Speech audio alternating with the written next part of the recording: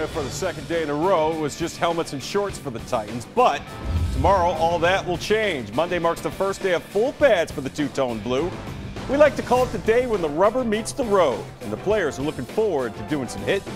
I think guys are ready. Um, you know, we, we always preach physicality around here, so we got to be about putting the pads on. So I think guys are ready. Nothing's going to change as far as being smart out here trying to protect each other. We don't want to get anybody hurt. After the first couple hits, it's just the same game they've been playing since kids.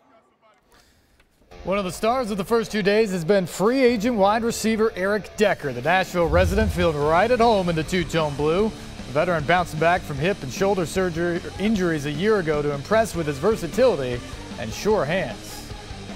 He makes it easy. He, uh, he made a couple great plays. Um, you know, that's something to build off of, and you know, hopefully we'll carry that over. I just want to be able to fit in and help where I can. And I, I don't care where that is, outside, inside, situational, whatever. I, I just want to win some football games, and you know, I think this team has a lot of capability to do that.